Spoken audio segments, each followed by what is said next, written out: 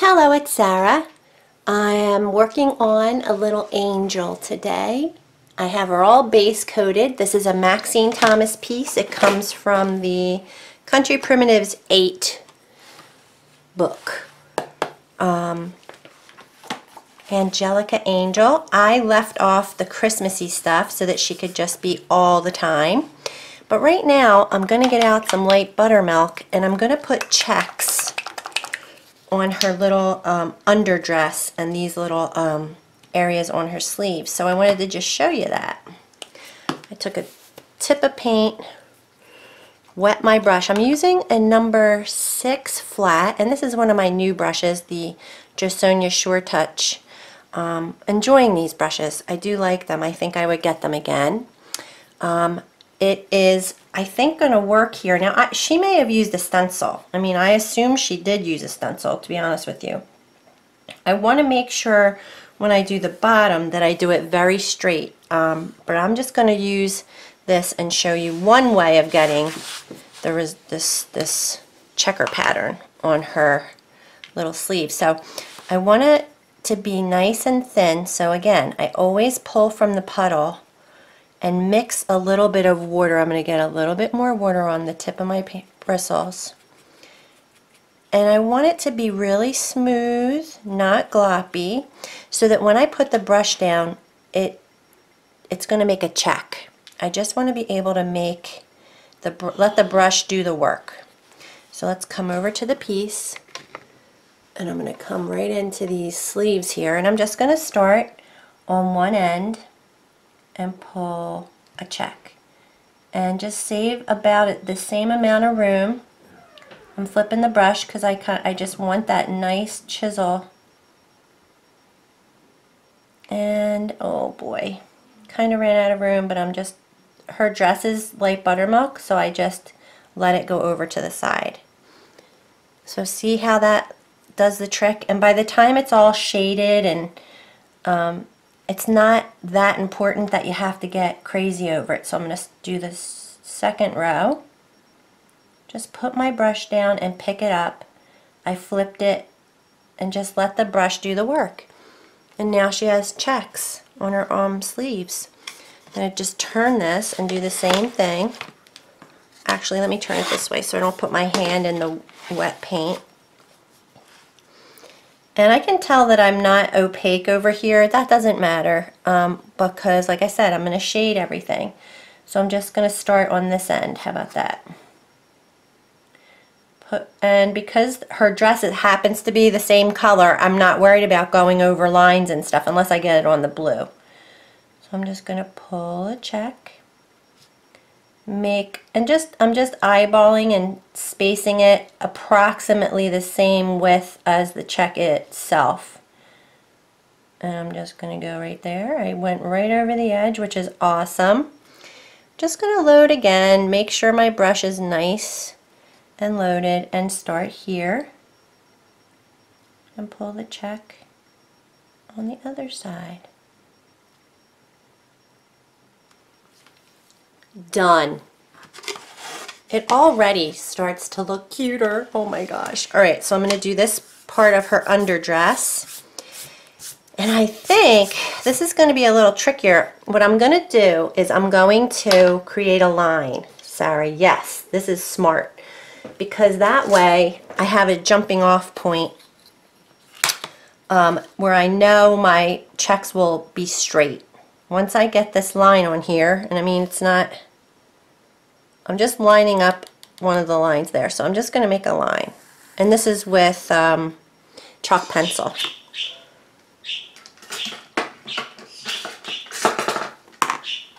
I'm going to get my brush again and I'm just going to load it right from that same spot. But I'm going to start, hmm, I think I'm going to go on the bottom of the line first. Oh boy, my bird. Tell you, if I'm talking, she wants to be in on it. Just making sure this is, if it's loaded right, I won't have a problem when I go to the piece. So I just want to make sure everything's good. See, there's a little extra water here. I want to wipe that off because it'll drip down onto the piece. So let me just start right here, um, below the line.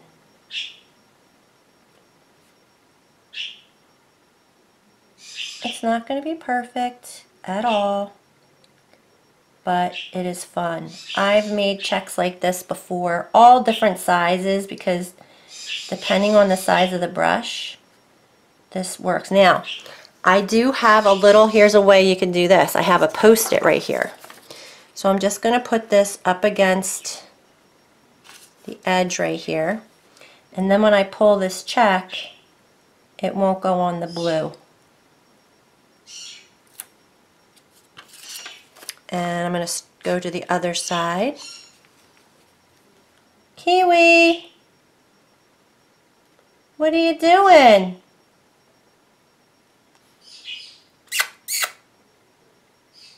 That's her little smooch smooch noise.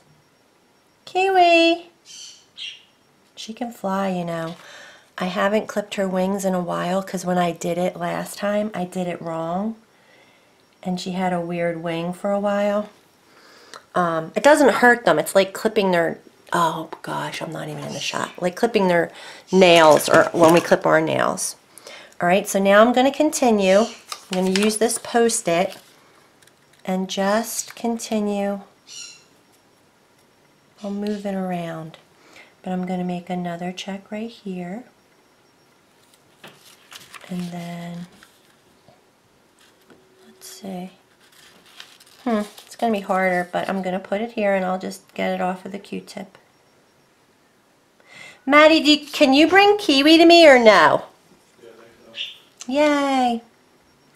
Because she's such a brat that no, everyone's afraid to pick her up because she's just a brat and she will bite you. She bites me all the time. She's a brat. Did you get her? you got her, Matt? You're so brave. Not with my finger, of course. Oh, come here, My booty. shoulder. Okay, thank you, Matt. So, um, now she'll stop peeping because she's with me. So this is my technique and it's fun, especially when you have a nice brush like this that's like nice and chiselly. And remember, this is not, um, this is an extra like little detail. It's not something that you need to worry too much about. Hopefully, um, oops, did I just spit on that? Uh, so yeah, and if you get it on the blue, your handy dandy Q-tip, but you get the idea. So I am going to be painting this little angel today, and I'm just wondering, oh boy, I'm getting crazy. See, I need to make sure I stay even. If you guys want to see me do it, a lot of you have been commenting that you're happy I'm doing the decorative painting. And um, it's just that in real time, it isn't a fast, I'm pretty fast painter too, but it's not a fast process. And um, if you don't mind, I mean, those of you that don't want to watch it, don't watch it. That's that's the good part. So, I mean, I could, I think I'll post a couple more painting videos from this project. Maybe I won't do the whole entire angel. Um, because I have a base coating video from the last project I did when I did my little uh, scarecrow. He was so cute. And he's up on my mantle with all the other fall projects I've been working on. Um, I don't know, I decided to do her first because it was fewer colors. Like I got her base coated yesterday pretty easily. And, um, but I want to do that little Raggedy Ann brush box pattern. Just going to put her on a, um, a piece of wood too, like a similar surface, just a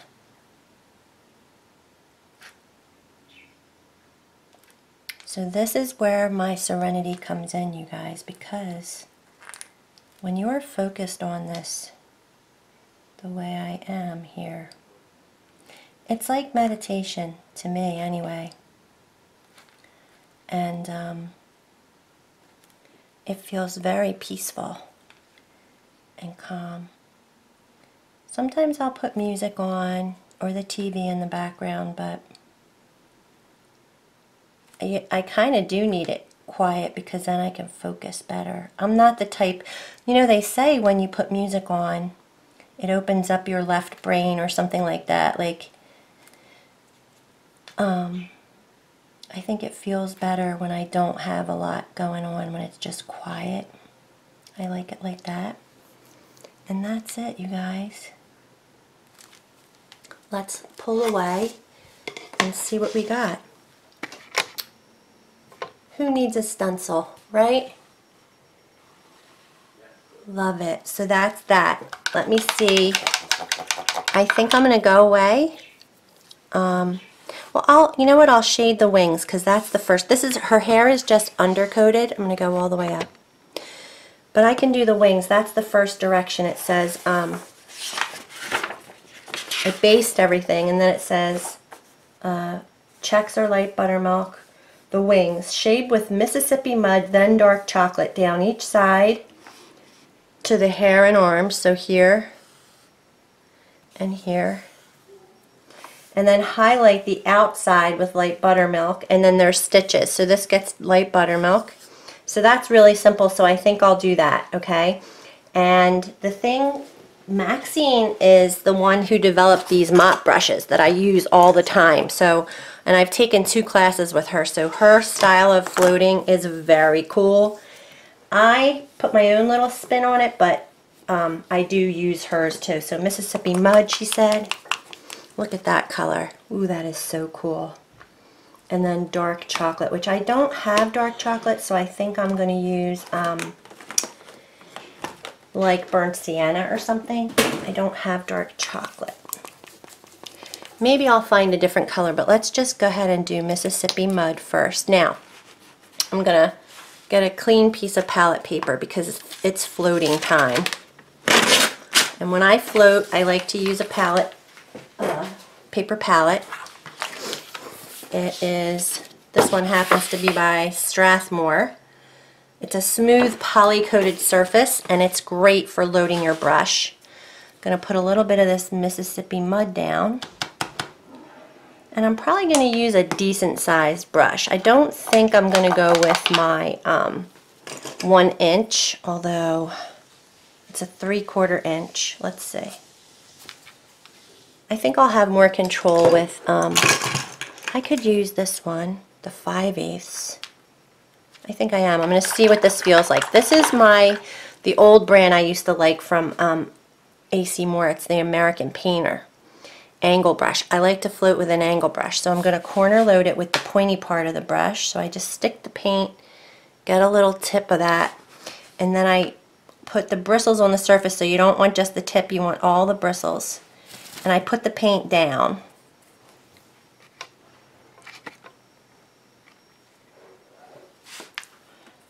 And I pull and push. So I pull down like this, but then I'm going slightly into it and then I back out a little bit.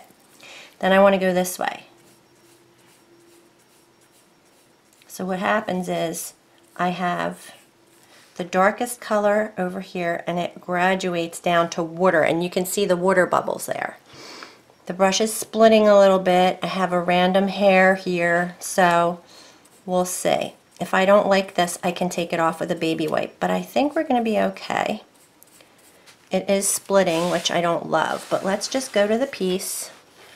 I put the corner where I want the darkest paint right in there, and then I'm going to back out. I don't want to come over the line. Wait, I hit the hair already. He's such a heavy hand. Now, Maxine pre-wets the surface. So she would have put water down on the surface first and then come in with her brush loaded and then she can pull her float across the water. So I, I still have water on the surface because you just saw me load it. And I just tap it with my mop. It got messy over here. So I'm just going to take my Q-tip and kind of go across the blue, get it off the blue. And the hair won't matter as much because we're going to put a bunch of strokes all over that, but I mean it definitely looks shaded. I'm going to use the other, my other brush, my brand new brush. This is the Jo Sonja. It's a half inch. And I'm going to do this side. And I think I'll be able to still get it to walk out as far. We're going to go over this again darker. So I wanted this to come out a little further. And the idea is this color would be out further and then the darker color would, so you still even get more graduation of color. So let me flip it this way. And this time I'm just going to start here and go along her hairline on this side.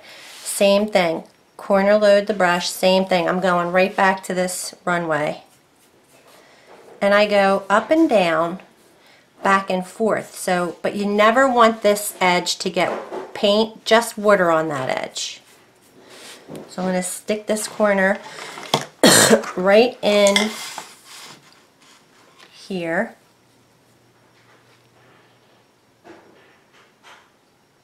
kind of pull it down all the bristles on the surface because I need the water as well. And like I said, if I was Maxine, I would have just put some water down on here so that the paint moves. But I generally can get away without it. I generally have plenty of water in my brush. Now, she's freaking expert at this, I'm telling you. She knows her stuff when it comes to this floating stuff. I'm telling you, my nose is itchy. What does that mean? Does that mean I'm going to make money or something? So I definitely got more color on this side. This hardly is showing up. So I'm, I'll come back with my bigger brush on here. I want to just do something right here. I don't see any color. Yeah, like there's a difference. Can hardly see it here and I see it there so much better. Ah, maybe that's why my nose was itching.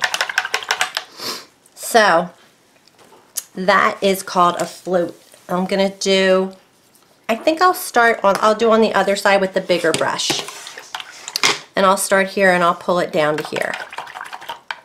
And I'm a pity pat floater as well. I don't do it all in one movement. I do it in pity pat movements. So There's more than one way to do this, you guys. Don't worry. So I put the brush up against the edge of the wing. Oops, got it on her shirt. And I will clean that up, but it's not ideal that I'm being so sloppy.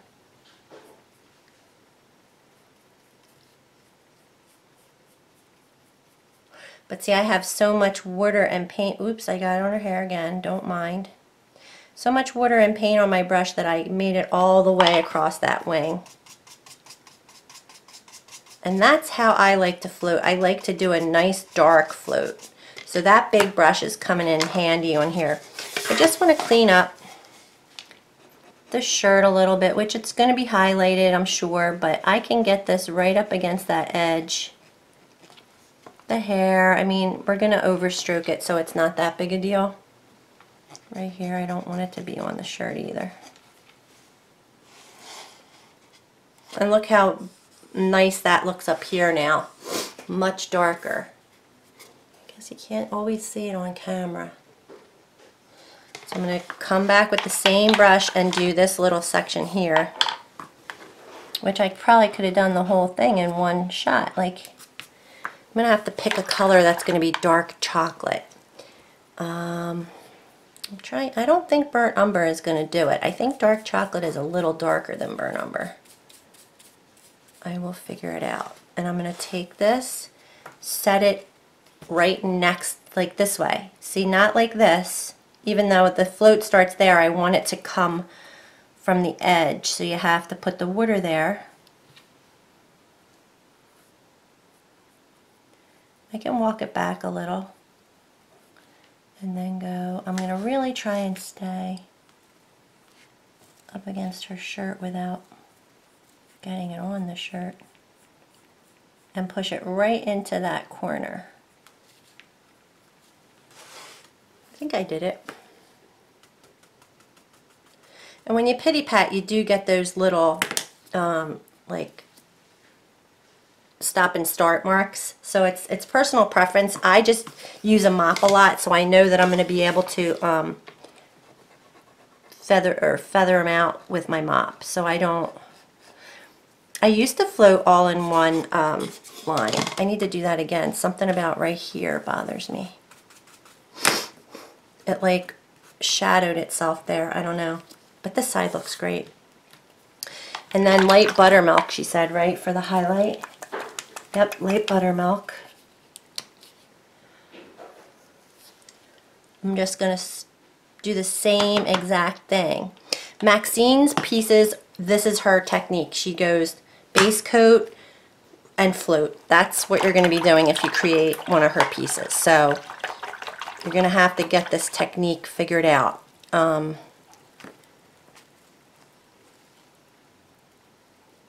that's my experience anyway. That's how I see it. Just loading this big brush up again and I'm going to stick this color again. I start with the edge of my brush up against the wing and I'm pushing down coming up and then I'm going to do the same thing on this one push down. I think I should start all the way. I don't know. Let me see. I think I like that.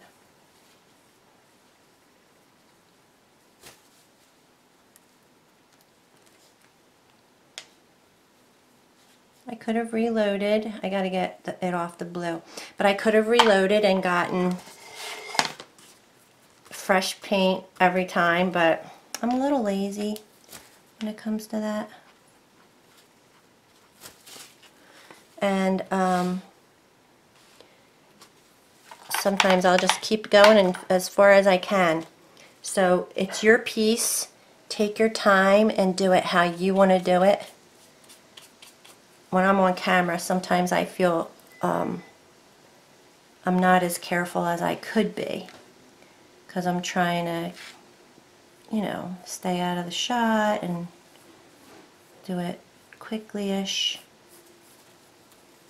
So um, same thing with a class, and I've said this before, you guys, I'm repeating myself, but when you're in a class, your work is never as good as when you're not in the class. Um, it's just weird that way. You can't, you can't, you're trying to keep up, so, you know, it's just the way it is in a class. Um, I want to fix this, but I'll just go ahead and go in with the white real quick, or the light buttermilk. Then I'm going to have to find something and I'm going to show you the difference it makes when you go in with a second color. So I'm going to just, again, my the angle brush goes right up against that side and I go across.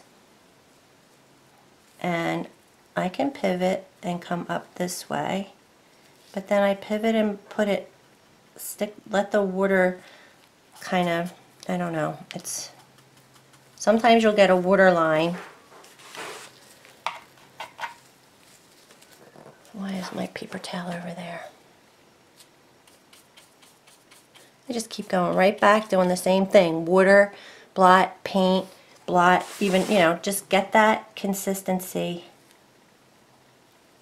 Make sure you like what's going on on your palette paper or you're not going to like what's going on on the piece. And see, I have so much paint and water on here. I'm going to keep going. And I'm just going to leave it like that. I think that's showing up pretty good. Hi, Kiwi. You are so sweet. She plays in my hair. You can definitely see that. I gotta go back here though. Something is bugging me about, I don't know. Maybe I'll just fix it with the, let me look at it. I have to go back up. Let me look at it and see. Uh, I could get it a little darker here. My runway had white in it in the path, so I have to do a different one.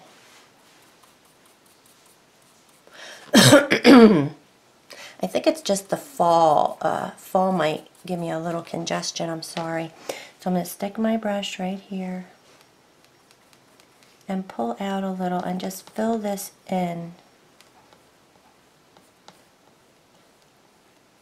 Because it would be darkest in there and then come around here. Good.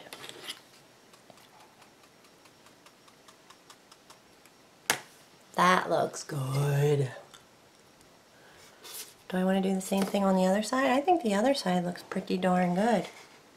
So that's how her wings are looking so far. And then I'm going to come back with the dark chocolate once I figure out what it is. Alright, so this is what I do. When I don't have a color, I Google it. DecoArt Dark Chocolate. I find a swatch. Look, here it is. So this is the swatch. It's I have traditional burnt umber and asphaltum, which she already uses asphaltum as a color in her project, but I think this is looking pretty good. I'm going to go with that, the traditional burnt umber, and just, I don't know why she picked dark chocolate, but I think traditional burnt umber will just be just fine. And I'm going to go down in size. I'm going to go to my little bit smaller brush because I don't want it to go as wide out although I do feel like darkening this up. But let me just stay over here for now. I'm going to use this half inch angle, my new Jo Sonja half inch angle, which I do like. I like these brushes. They're very good. Oops, why is that? Um, so, put, oh, I guess I got to put this out. So here we go. I put a little on my palette, corner load, put it down and just push the color back and forth. I go fast. Probably not even in the shot. There we go. But I have plenty of water on here to make it nice and slick. And let's see how this goes. I'll do it from a distance so you guys can watch me from afar. I really like when I get it dark up in the crevices. I'm just going right back to the runway.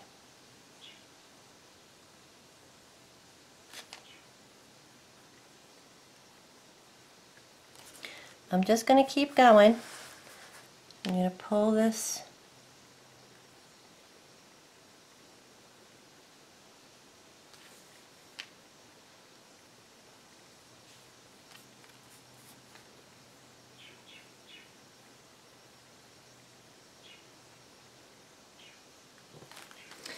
and just see if I can tickle it out a little bit.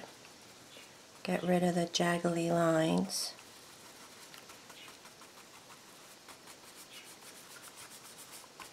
That is dark. I like it. And you can tell the difference from this side. This has more definition. So I'm just going to do that on the other side.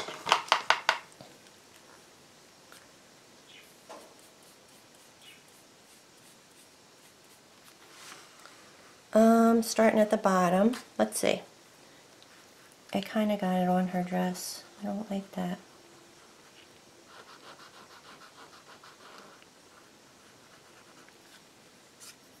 Think sometimes I mop so crazy that I push it over there too. I'm a crazy mopper. I'm just going to sit that. I'm just going to go right down the arm, the sleeve. I'm not worrying about walking it out too much because this is just for definition. And I'm going to come back, oops.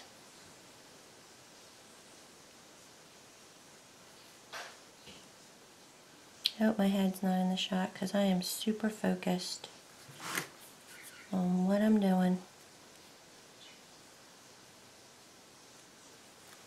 That has a lot of color right here.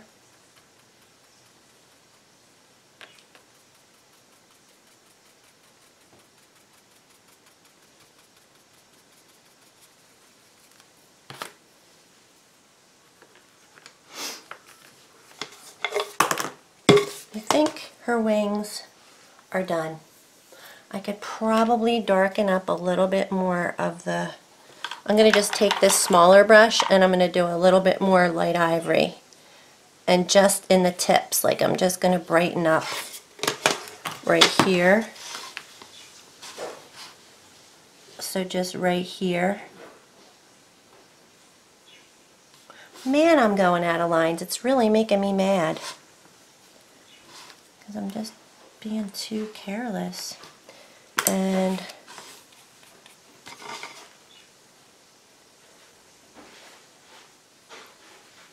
again, I went right out of lines. It's annoying. Just gotta try and I think it's because my head is so far back. Like when I'm doing this, just me and my piece, I'm right on top of it. So if my head gets in the shot, I'm sorry. I'm sorry. And I got a little puddle here. I don't, you don't always have to mop. I just am a pity patter so it kind of leaves those little um, stop and go marks so I have to, I just like to blend them in. So this looks a little not bright enough for me.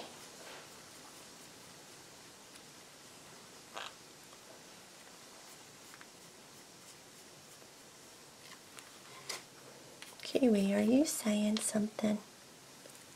What are you saying? And like if I just do it and don't talk about it, it actually goes a little better too.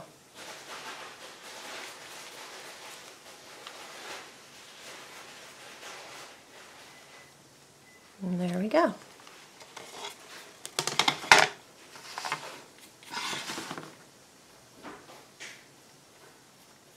You can go back and forth as many times as you want. It's your piece. And then she has these little stitch lines, see? Right here, stitch, stitch, stitch. They're just on the underside, which I could put them wherever I want, but I, I'm going to follow hers. And that's the wings. That's all she wants us to do with those. So I'm going to grab my liner brush. I'm going to load it with the dark burnt umber or whatever it's called. Traditional actually. Dark chocolate. I don't have dark chocolate. Maybe I should. You know, they're not um, making paint right now. The company is, I think it's only making a certain, you know, percentage of their colors. It's not making all the colors. So, um, I'm, I always use what I have. I have so many bottles of paint. So it's not like I'm going to go get dark chocolate when I have all these other browns. But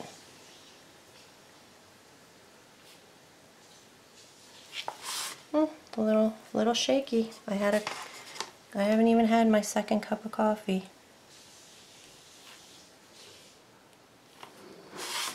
These are the little details though that okay, this goes all the way down from here.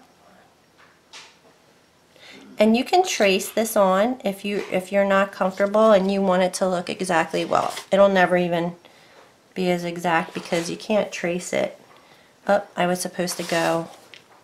Just I'm just leaving it like that. You can't really even notice them. They're just subtle. And I'll do the same thing to the other side. Uh, and that's it. So that's all I wanted to share for right now, you guys. I feel like um, kind of doing the, the videos in portions like this gives you, you don't have to watch a whole big video. Um, wait, I gotta think of what I'm doing. Because I'm doing it in the opposite direction. Um, and you can just, uh, you know what you're gonna get kind of thing.